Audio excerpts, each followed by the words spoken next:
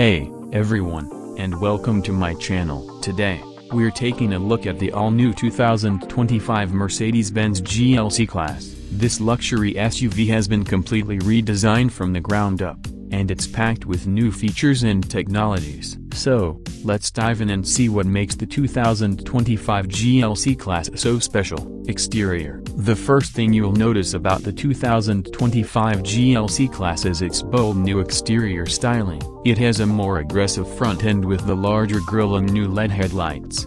The sides are also more sculpted, and the rear end features a new tail light design. Overall, the 2025 GLC class is a much more stylish SUV than its predecessor. Interior The interior of the 2025 GLC class is just as impressive as the exterior. It's made with high-quality materials and features a new MBUX infotainment system.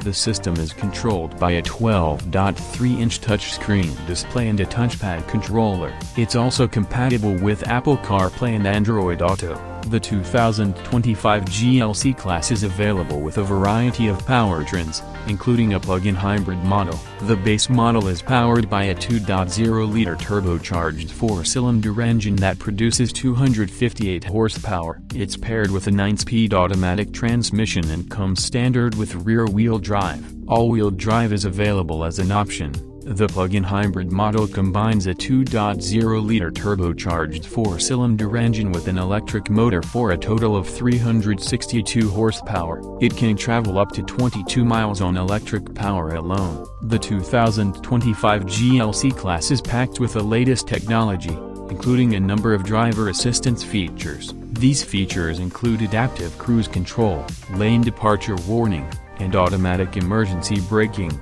The GLC class also has a new parking assist system that can automatically parallel park the car for you. The 2025 Mercedes-Benz GLC class is a fantastic SUV that offers a combination of luxury, performance, and technology. It's sure to be a popular choice for luxury SUV buyers. Thanks for watching. I hope you enjoyed this video. If you did, please give it a thumbs up and subscribe to my channel for more car reviews.